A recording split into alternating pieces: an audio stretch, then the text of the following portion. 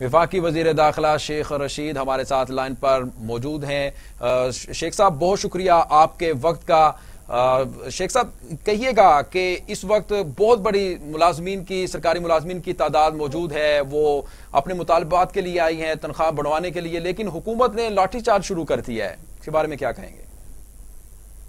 देखें शौक से कोई लाठीचार्ज शुरू नहीं करता। जब ट्रैफ़िक रमा रखना है, पार्लियामेंट है सुप्रीम कोर्ट है इलेक्शन ऑफ़िस है, और सारे अदारे हैं।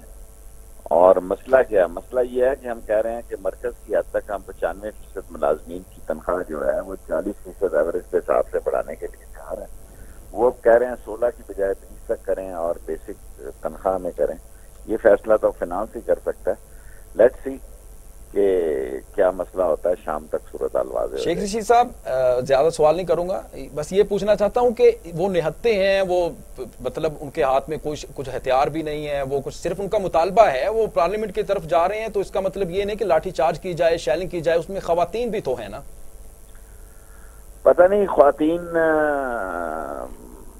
का मुझे मतलब मालूम नहीं है लेकिन हमने पुलिस को हदायत किया कि हल्का हाथ रखें जहाँ वो धरना चाहना चाहें बैठना चाहें उनको कहा जाएगा। अगर वो किसी बिल्डिंगों में दाखिल हो जाएँगे तो फिर उनको गिरफ़्तार किया जा सकता है। थैंक यू जी, बहुत शुक्रिया शेख रशीद साहब आपके वक्त का। नाजरीन, आपको बता रहे हैं कि मुजाहरीन की बहुत बड़ी तादाद इस वक्त पार्लियामेंट की तरफ़ जाने के लिए कोशिश कर रही है और दूसरी तरफ़ पुलिस भी लाठीचार्ज कर रही है, पथराव कर रही है और शेलिंग कर रही है। जैसा कि अभी हमारी वज़ीर दाखिला शेख रशीद साहब से बात हुई है, उन्होंने कहा कि हमारा मुजाकरात का जो अमल है वो जारी है। और कोशिश कर रहे हैं कि मुतालबात जो कहे जा रहे हैं, हुकूमत भी मिल बैठ के उसके ऊपर मुजाकरात कर ले और अभी जो आपको बता रहे हैं कि खातन की बहुत बड़ी तादाद मौजूद है।